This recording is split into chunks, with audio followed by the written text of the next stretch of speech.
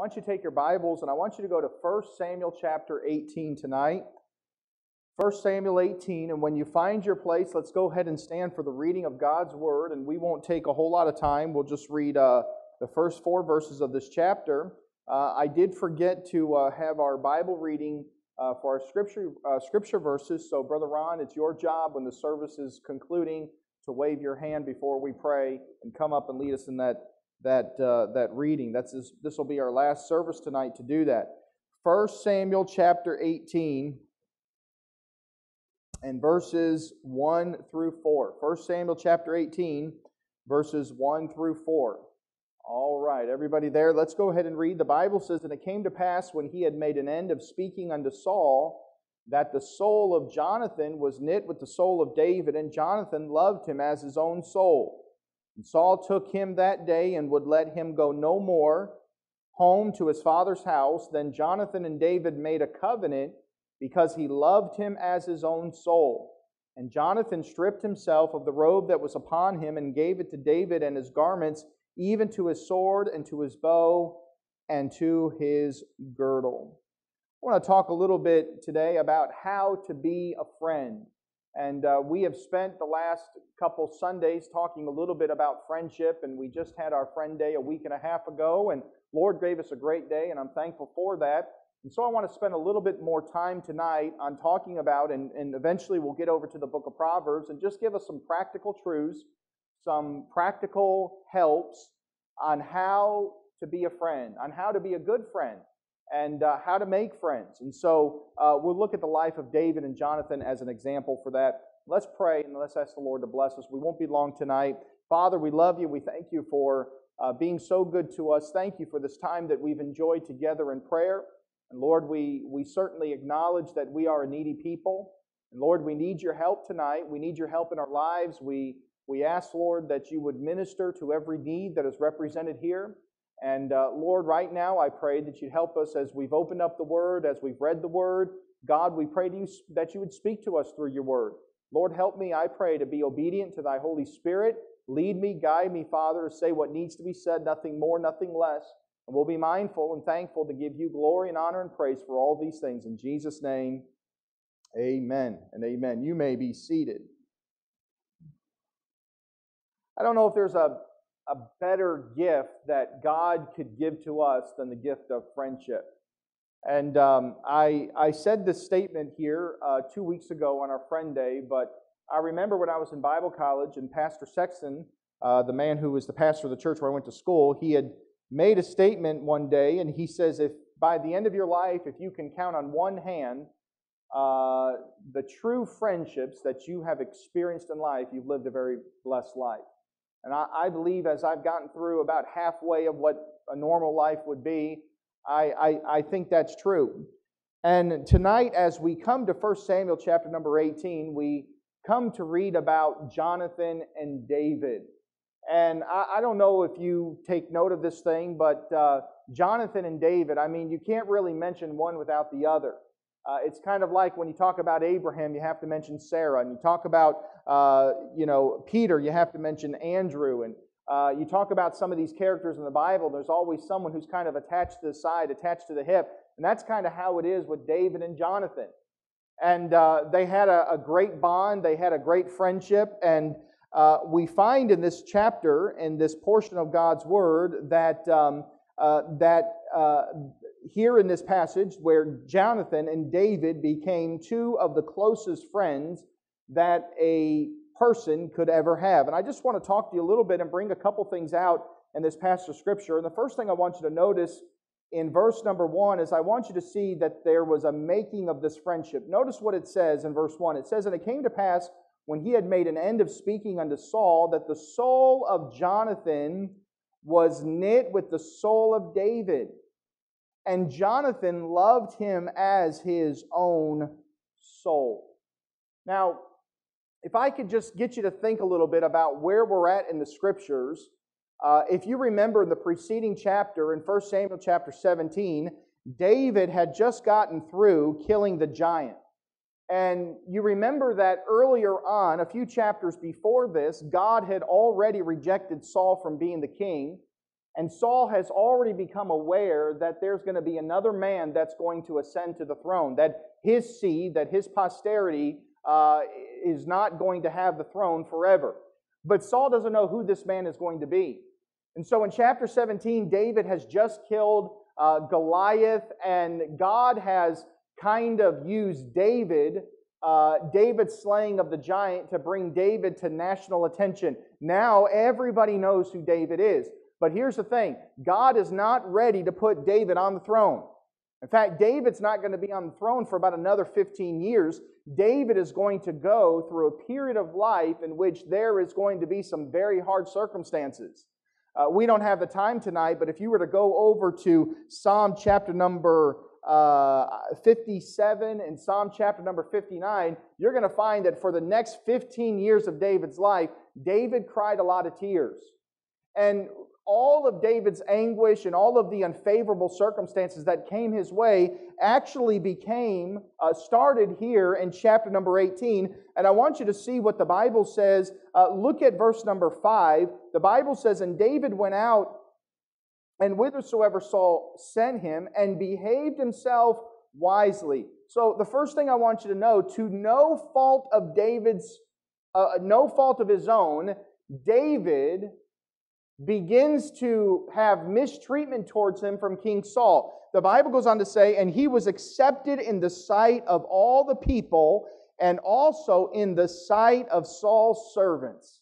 So just remember what is taking place. Saul already knows that someone's going to take the throne. Saul already knows that uh, someone has gained the favor of God. In fact, we know in preceding verses, in fact, in chapter 16, David has already been anointed to be the next king of Israel, uh, not known to Saul, mind you. And here in chapter number 18, David begins to gain the attention of all of Saul's subjects and all of Saul's servants.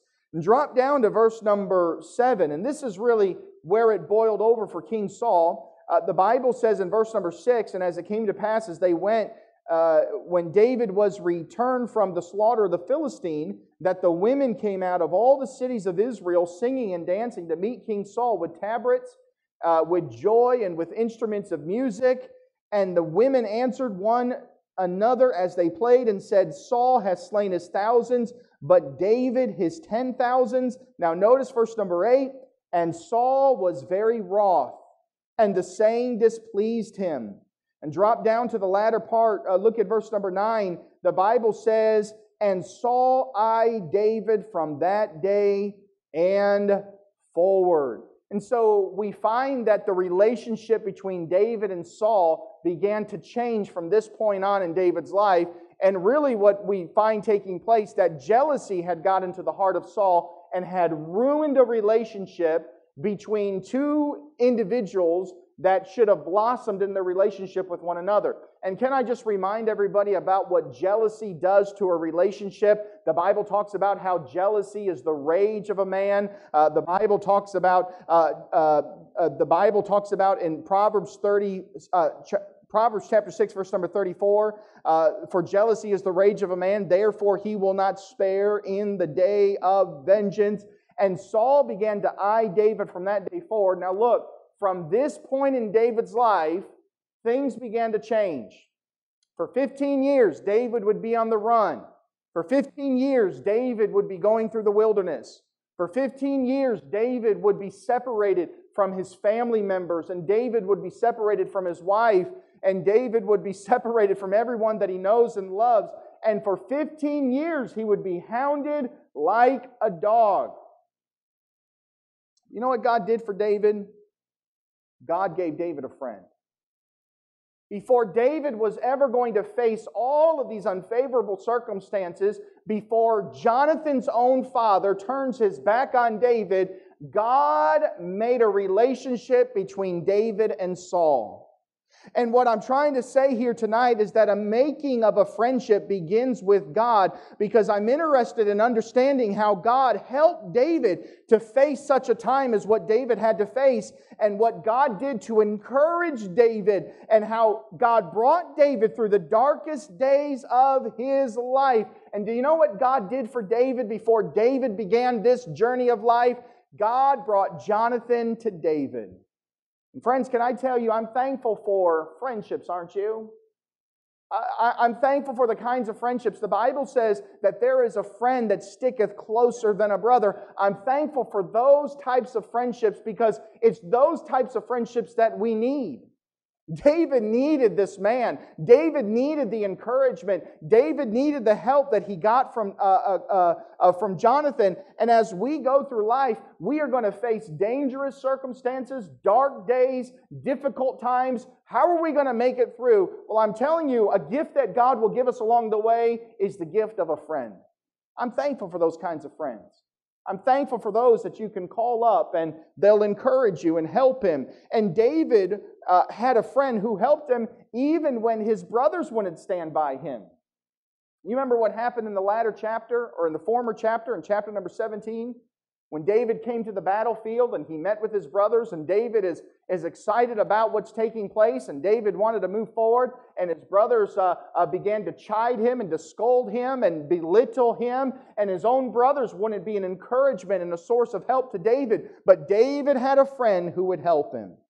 And friends, I'm interested tonight in being this kind of friend uh, and Jonathan was this kind of friend to David. Notice something else about this friendship, not just the making of a friendship, but notice how meaningful this friendship was. Look what it says in verse number three. The Bible says, Then Jonathan and David made a covenant because he loved him as his own soul.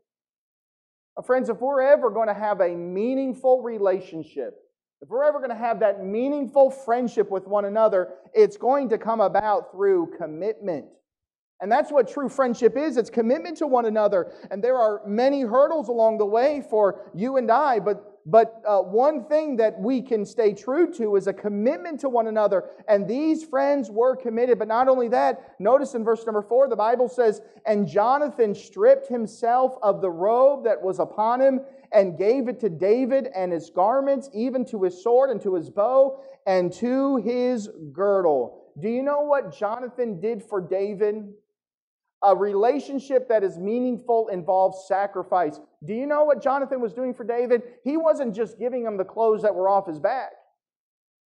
Jonathan was giving David his princely garments.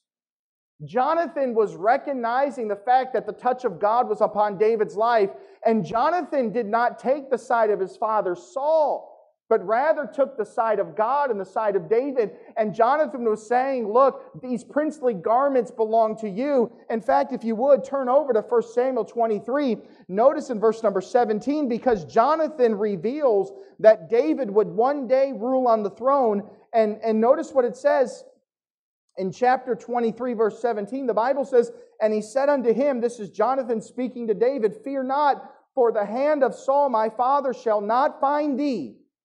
And thou shalt be king over Israel, and I shall be next unto thee.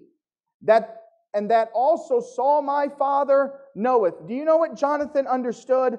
Jonathan understood the fact that God's hand was upon David, and Jonathan was constantly putting the affairs of David before himself. In fact, do you know what Jonathan had to do to be a friend of David? Jonathan had to go against his own father because he knew what his father was doing was wrong. In other words, there's going to be some sacrifices in having a meaningful friendship. Now, look, we can take this outside of a friendship with with somebody, we can take this to the relationship of a husband and wife. If there's ever going to be a meaningful relationship, whether it be a husband or wife, or a man and a brother, or a man and a friend, or a woman and a friend, or whatever the case might be, there's going to be some sacrifice involved. I want to ask you, what kind of friend are we? Are we the kind of friend that sacrifices? Are we the kind of friend that when someone needs some time, we're willing to give it? If someone needs some money, we're willing to spend it. If someone needs an encouraging word, we're willing to speak it. Whatever is needed. David needed some things that Jonathan had to sacrifice to give. It's going to cost you to be a friend. Now, look very quickly, because I want to go to the book of Proverbs. I just wanted to mention this real quickly. Now, notice what it says in verse number four. And so we see the making of a friendship. It begins with God. We see a meaningful friendship. There's commitment and there's sacrifice. But notice the model of friendship. The Bible says, And Jonathan stripped himself of the robe that was upon him and gave it to David and his garments, even to his sword and to his bow and to his girdle. Jonathan gave everything for the welfare of another. Does this not picture someone who's the greatest friend that humanity ever had? His name is Jesus Christ.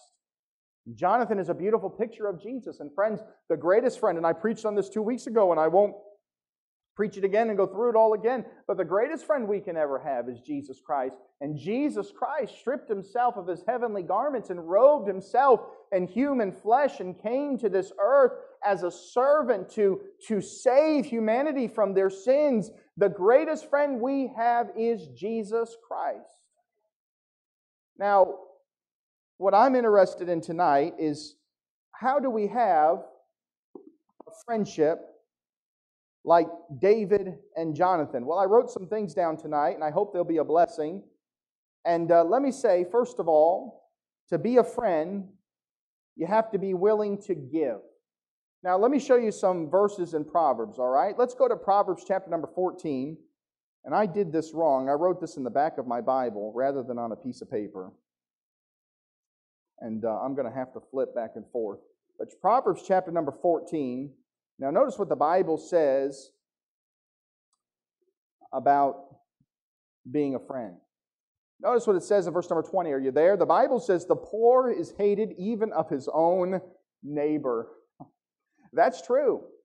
Uh, man, for whatever the reason, most people don't like poor people because they're needy. And uh, the Bible says that the poor is hated even of his own neighbor, but the rich hath many friends. Go to Proverbs chapter number 19, verse number 4. The Bible says, Wealth maketh many friends, but the poor is separated from his neighbor. Drop down to verse number six. The Bible says, Many will entreat the favor of the prince, and every man is a friend to him that giveth gifts. Now, I understand that this can be understood as false friends. I mean, we know that people that have more money have people that gravitate to them and just want to be their friend so that they can get something out of them. Uh, we see this in the athletic world, in the sports world. You know, uh, there'll be a, a, man or a woman or whatever the case might be where they uh, make a breakthrough in their sports career and they go to the pros and they make millions and millions of dollars, and people from all over the area that they grew up with come crawling out of the woodwork uh, to try to mooch off them and get something from them and so forth and so on. And so we can see how this could be true in that way. But I want to tell you that the Bible is stating that a man that hath wealth has friends. And so there's, there's some logic here that we need to think about. If you want to be a friend, do you know what you need to do? Be willing to give. Now, look, I'm not saying that in order to be a good friend, you have to be willing to give money because most of us are saying, man, we ain't got no money to give. You know? I mean, it takes everything we got just to support our families. But it doesn't mean to be a friend that you have to just give your money. Man, what about giving a word of encouragement? You know? What about, what about just giving some support to someone who, who needs it? What about just giving some prayers when someone's going through a tough time? What about, if necessary, and if, if uh, the ability allows you to, what about giving some finances and helping out uh, from time to time? Man, I'm thankful, and I won't mention the name, but from time to time, we have somebody who gives our family uh, uh, shampoo and soaps and, and cereal, and we've had others. Man, I've had people give me a, uh, other things and just uh, trying to be a blessing. Man, that, that, that establishes a friendship, does it not? And so, if you want to be a friend, look, learn to give to people who are in need. And give some words of kindness. And sometimes people just need help, you know, getting caught up in doing some yard work. Man, you want to be a friend, show yourself friendly. And so here we find that Jonathan was a giver. Jonathan gave of himself to David, and the result of their friendship, the Bible says that their souls were knit together. You couldn't get more closer than Jonathan and David were. Well, what was it from? It was from the fact that they were willing to give of themselves to another. And by the way, long after Jonathan had died, David was willing to give to the family of Jonathan. You remember that Jonathan had a son. Does anybody remember his name? Mephibosheth. Say that 10 times as fast as you can. Mephibosheth. And for the rest of Mephibosheth's years, he would eat at the table of King David. Why? Because they had a friendship that was giving. Let's give to one another. Amen. Number two, let me say this. Look, if you want to be a friend, be loyal and trustworthy. Be loyal and trustworthy. Go to Proverbs 17, verse 17. Proverbs 17, 17. Listen to what the Word of God says here. A friend loveth most of the times, and a brother is born for adversity. Did I get that right? That was the NIV version, right? A friend loveth at all times. I want you to try to get into the psyche of Jonathan for just a moment. And think about what it cost Jonathan to be a friend to David. Jonathan's friend was the sworn enemy of his father.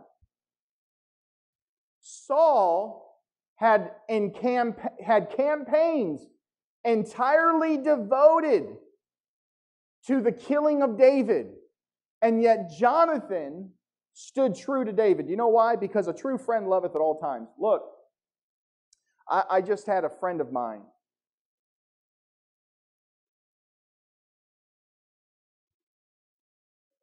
In the ministry that's gone through a very tough time. And he had a lot of preacher friends before this difficulty that he had to deal with. And after the difficulty's over, I said, Well, has any of these men called you and tried to pray with you? He's like, Andy, I've heard from hardly any of them. You know what that tells me? That tells me when you get to go through some dark days, you're going to find out who your friends are real quick.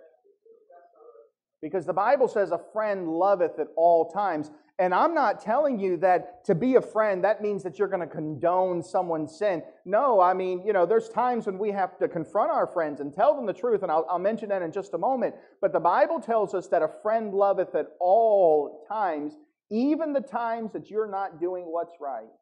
I remember when I got married, I had nine groomsmen in my wedding. We had a large wedding party. And looking back, there's probably a few of them that I probably shouldn't have really had in my wedding. And my brother Chris, you know, shortly after I got married, my brother Chris reads a lot and uh, he knows a lot of these kinds of, of facts and things. He says, Do you know what the purpose of a groomsman is? I said, No.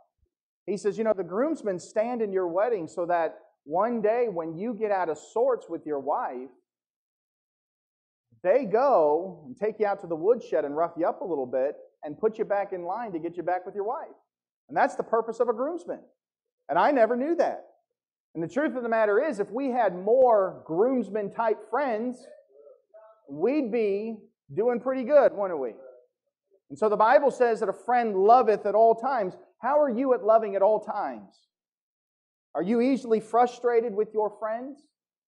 Are you easily angered with them? Do we have the mentality, man, uh, you know, when we see a friend fall, when we see a friend falter, do we have the mentality that says, man, I knew it was just a matter of time? Is there a little bit of, uh, of, of rejoicing in our heart when we see a brother fall? That's not what a friend is, my friend. A friend is loyal and trustworthy. And the Bible says, a friend loveth at all times.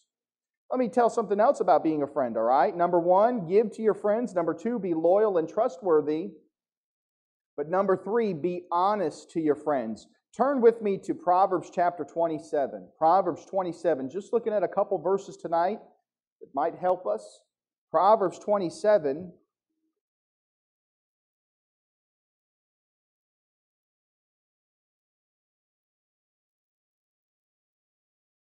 And here's what the Bible says Open rebuke is better than secret love.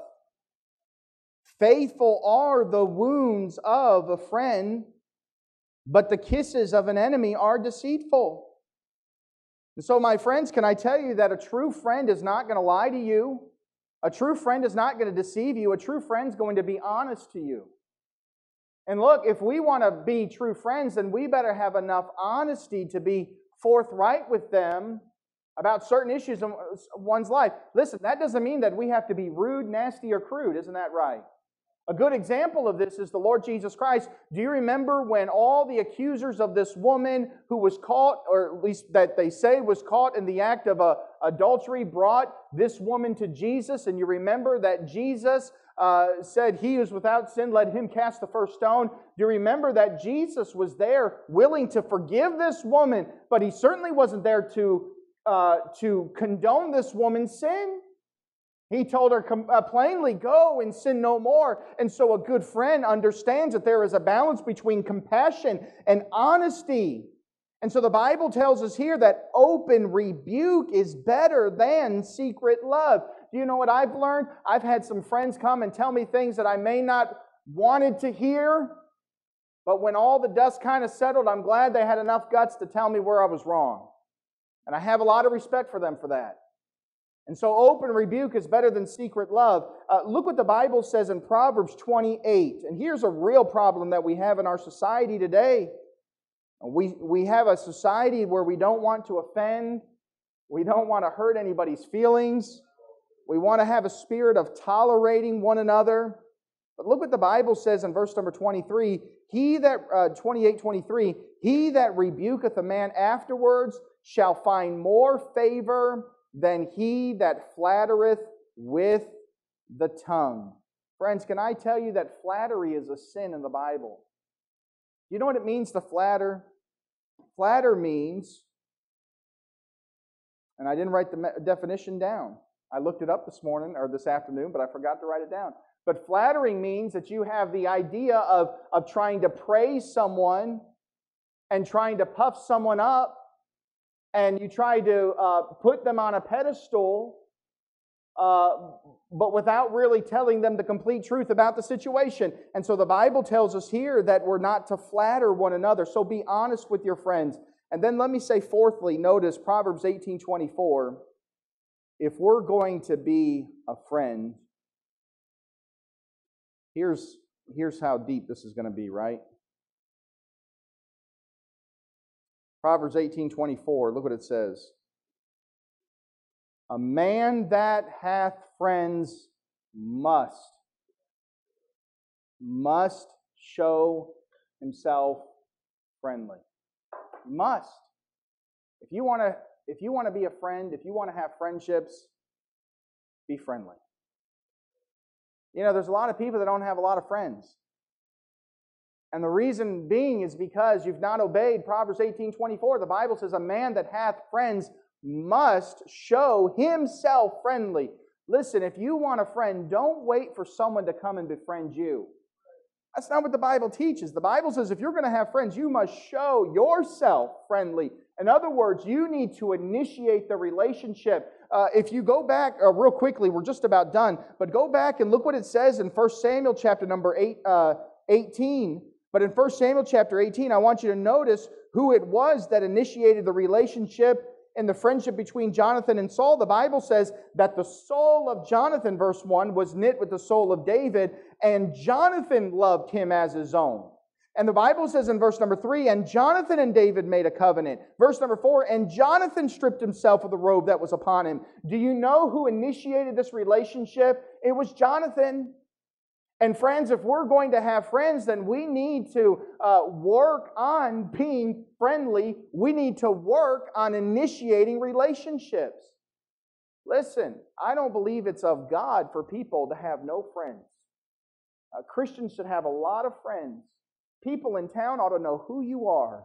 People in your apartment complex uh, ought to know you, who you are and where you live. Uh, your neighbors ought to know uh, uh, who you are and who your family is. And uh, Christmas time comes, go out and give Christmas cookies to your neighbors. Uh, when people are out mowing the grass, if you have the time and you're able to do it, get out of your car and go and see if they, they need some help. If you see them uh, carrying wood or doing whatever the case might be, help your neighbor. Initiate friendships. A man that have friends must show himself friendly. Someone has said this that friendships are gifts that we give ourselves. Think about that for just a moment. Friendships are gifts that we give ourselves. In other words, friendships don't just happen, friendships are earned. It's amazing. I, I, I, honestly, growing up, I thought I had a lot of friends. I did. I thought I had a lot of friends. And, uh, and then I met my wife. And I know that not everybody on Facebook, but my wife's Facebook's just hundreds and hundreds of friends. And a couple years ago, you know, we kind of exited the Facebook scene. My wife gets on there sparingly now. If she does, she does it behind my back. But she does it sparingly. And primarily, we keep the Facebook page for the fact of, you know, she likes to send pictures to her family, communicate with friends and stuff in Alabama. But man, when we go down through Alabama, uh, and we go down to her home church and we go down to her area down there, everybody comes to see, not me, they come to see my wife. You know why? Because my wife's one of the most friendliest people I know. When I first married her, she's all, of course, you know, things have changed now with having our kids, and most of her time is occupied to our family. But man, before my wife started having kids, I mean, she was she was uh, uh, someone who initiated friendships all over the place. That's the kind of friendships we need to have. That's the kind of people we need to be. A man that has friends must, must show himself friendly. And so there's been times where people have said to me, Pastor, I just don't have a lot of friends. That's nobody's fault but your own. Because the Bible says a man that has friends must show himself friendly. You need to take it upon yourself to initiate relationships and be a friend. Be a friend to the friendless. I tell my kids whether they obey it or not. I think they do. They tell me they do. But I say, look, if you're ever at school and someone's getting picked on, if someone's being made fun of, if someone is laughing at another person, you stand up for that person and you rebuke the other person. You tell them, leave them alone. That's not right. Stand up for the friendless. Initiate the friendless. Initiate the relationship to the friendless. Jonathan did this to David. I want to ask you tonight, and I just wanted, I, you know, I wanted to kind of mention that in one of my sermons the last couple Sundays, and I haven't been able to do that, and so I wanted to share that with you tonight. But I want to ask you are you a friend? Are you a friend? I want to be a friendly church. I want people that when visitors come in this building, when they come to our assembly, when they come to our services, they go away saying, Boy, that was a friendly church. Now, I'll tell you, I'll be honest with you. I've had, I've had a few, few people down through the years that say, you know, there was rude people. But I've had far more people, far more people say, wow, it's a very friendly church. Everybody shook my hand and said hello. But look now, if we're not careful, if we're not careful, we'll have a visitor come in. And by the way, if a visitor comes to our church, do you know why they're coming to our church? They're looking for something. They're searching for something.